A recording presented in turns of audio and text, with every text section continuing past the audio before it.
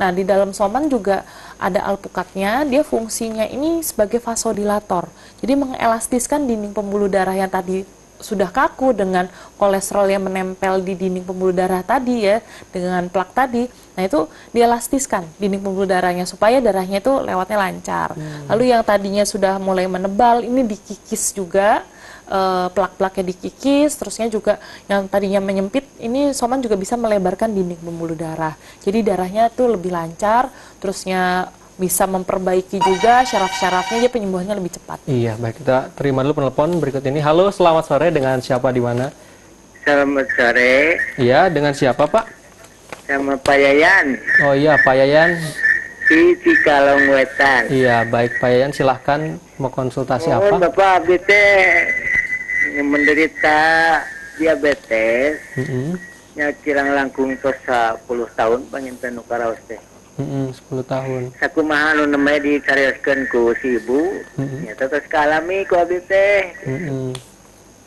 Nah, ayeuna teh terus lari kena soca. Oh, udah ke mata ya, udah lari ke mata oh. iya. Pak Yayan usianya berapa, Pak? Usianya Pak Yayan?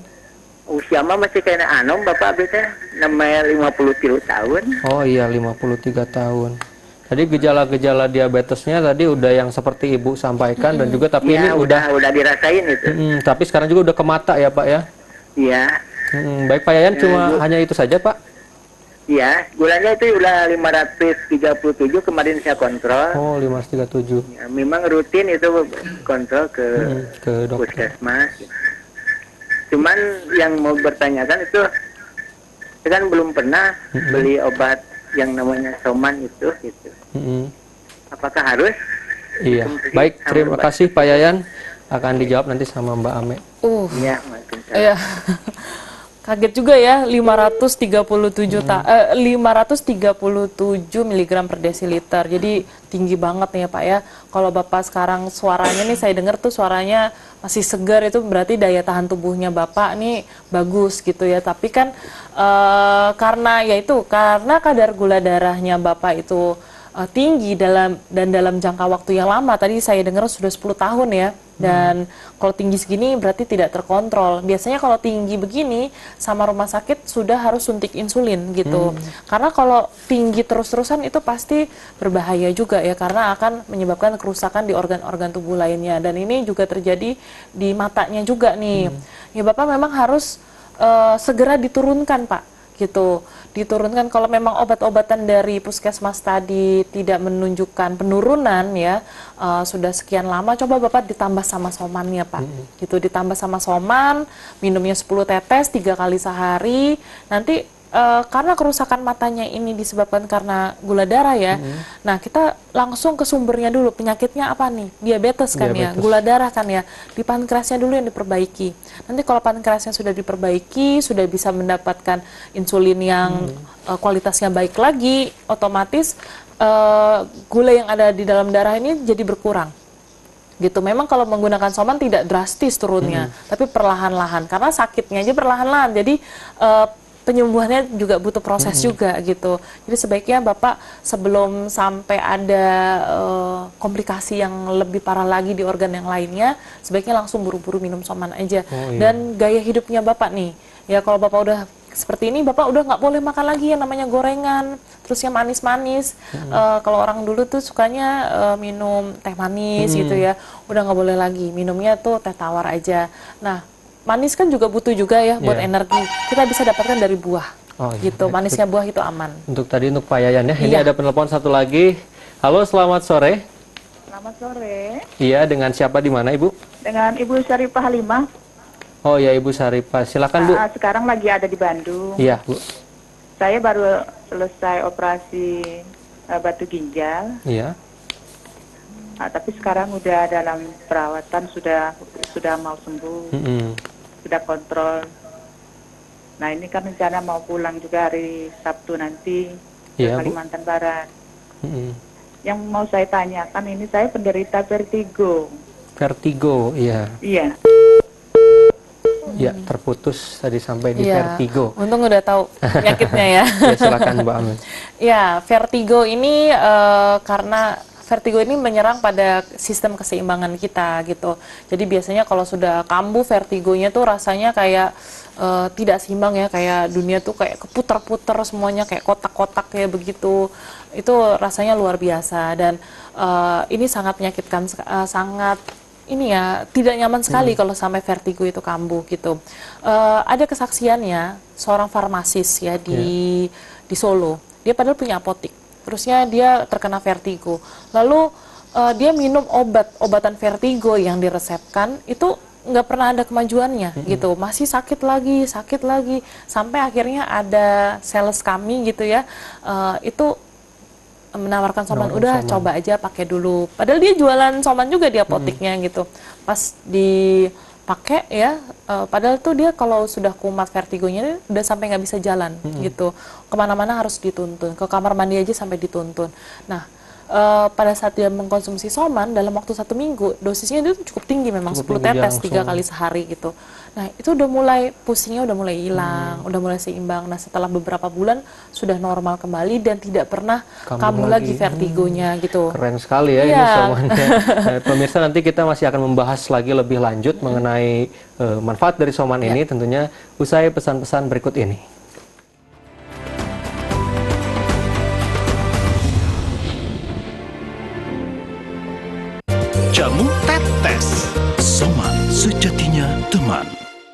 Baik balik keadaan hirup bakal jadi raga dunia.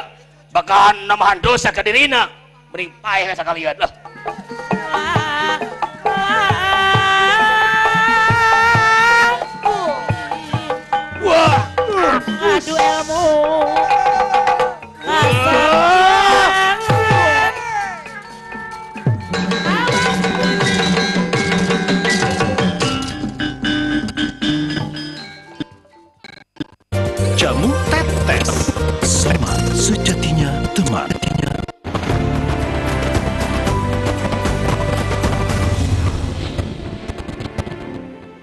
Ya, terima kasih pemirsa Anda masih bersama kami di Bilik Konsultasi TVRI Jawa Barat.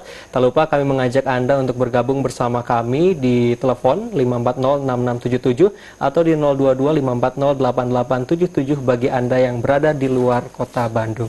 Ya, kita kembali lagi ke pembahasan ya. mengenai produk Soman. Mm -mm. ya, Mbak, tadi ya. kan ada sempat penelpon bertanya, dia tadi lagi uh, pengobatan dari puskesmas yeah. juga. Mm. Nah, ingin mencoba soman. Ini bisa nggak sih sampai dibarengi mm. dengan obat dari medis penggunaan yeah. soman? Jadi soman ini bukan berlawanan ya dengan mm. medis itu nggak berlawanan. Kita jadi nggak uh, kalau minum soman akhirnya sama obat medis perang gitu hmm. atau terjadi kontraindikasi ini enggak karena soman ini alami ya hmm. terus dia terbuat dari buah sayur rempah prosesnya juga secara alami jadi nggak akan ada efek sampingnya justru kita menyarankan biasanya kalau rekan-rekan uh, saya hmm. terusnya ada konsultan medis kita itu nggak pernah menyarankan obatnya diberhentiin minum soman aja malah justru sebagai pendamping jadi hmm. supaya penyembuhannya itu lebih cepat itu bisa uh, dikombinasi tapi minumnya aja nih jarak min minum soman dulu sebelum hmm. makan hmm. minum obat medisnya setelah makan iya gitu. baik ini ada sesuatu ada penelpon kita coba terima halo selamat sore sore ya dengan siapa di mana bu dari ibu Sukina dari Kalong oh iya ibu silakan bu uh, mau nanya hmm. kalau peng untuk pengobatan kista hmm. uh, harusnya itu berapa tetes kalau somen ya? Hmm. Terus uh, ada pantangan nggak kalau uh, makanannya gitu? Pantangan. Soalnya saya kalau minum tuh tiga kali sehari lima tetes lima tetes. Hmm, lima tetes. Ini ibu usianya berapa ya bu ya? Halo? Halo ya ibu, ibu Sukina usianya berapa bu? Empat uh, satu. 41 ya. ya. Hanya itu saja. Iya, baik, terima kasih. Waalaikumsalam. Ini penyakit kista. Kista ya.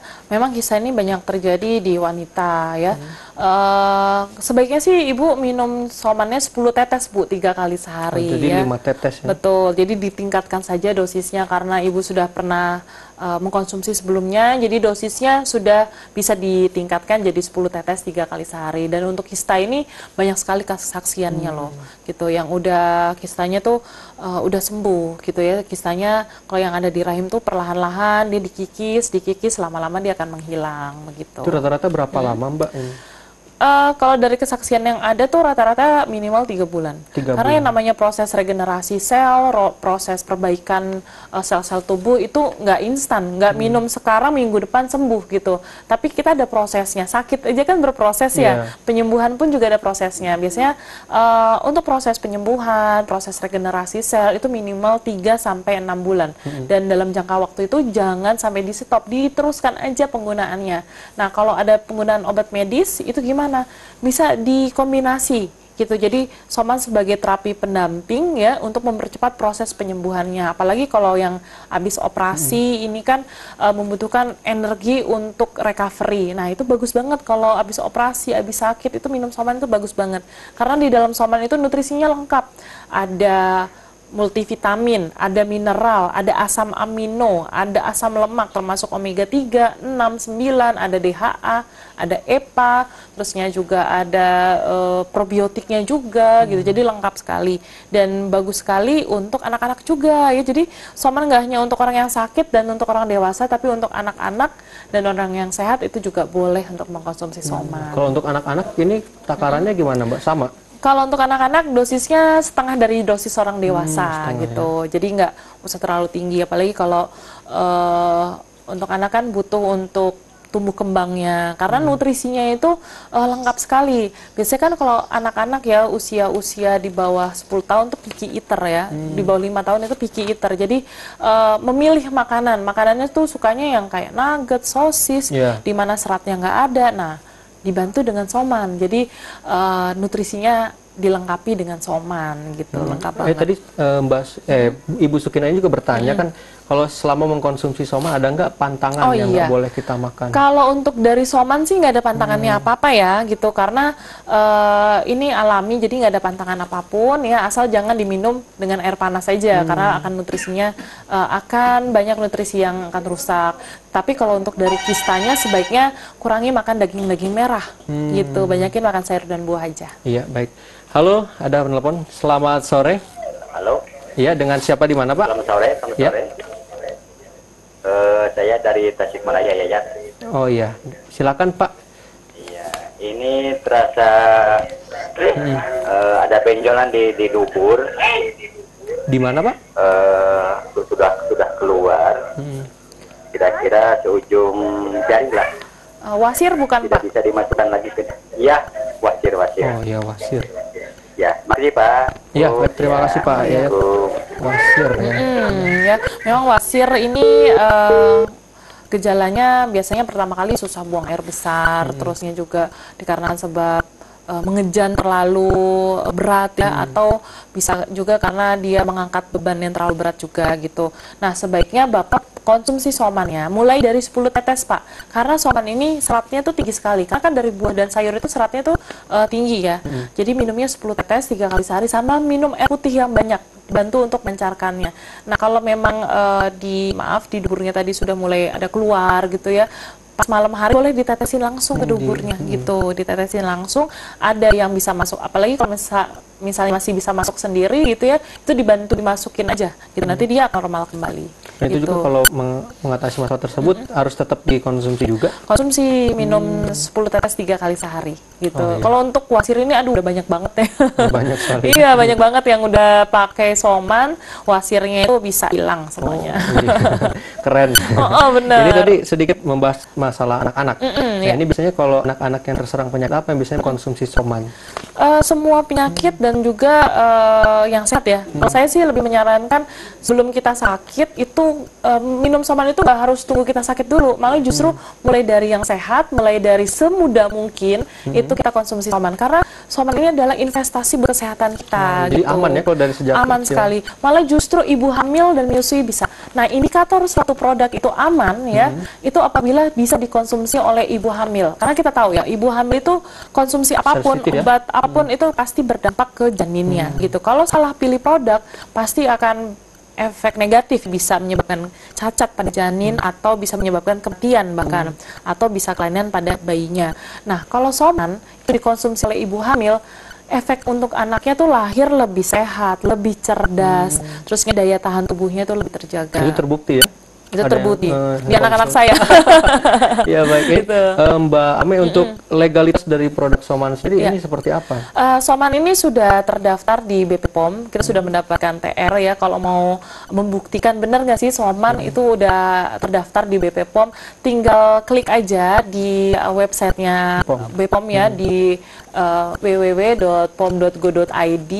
Nah itu nanti tinggal masukin aja. Uh, kode TR-nya kita hmm. gitu ya TR berapa atau Sozo Formula Manggata 1 atau PT Harvest Gorontalo Indonesia uh, produsennya itu nanti akan keluar oh ada sana oh, jadi gitu. aman ya aman dan juga ada sertifikat halalnya juga hmm. terusnya juga uh, kita juga sudah pabrik kita nih sudah sangat modern sekali sudah mengacu pada CPOTB cara pembuatan obat tradisional yang baik hmm. gitu iya baik Uh, pemirsa, kami juga masih menunggu Anda yang ingin bergabung bersama kami melalui telepon di 5406677 atau di 0225408877 bagi Anda yang berada di luar kota Bandung.